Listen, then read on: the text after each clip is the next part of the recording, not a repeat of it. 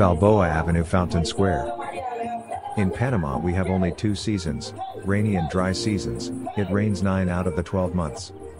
But that doesn't discourage Panamanians from going out early on a Sunday morning to exercise and dance in the shade of the condominiums.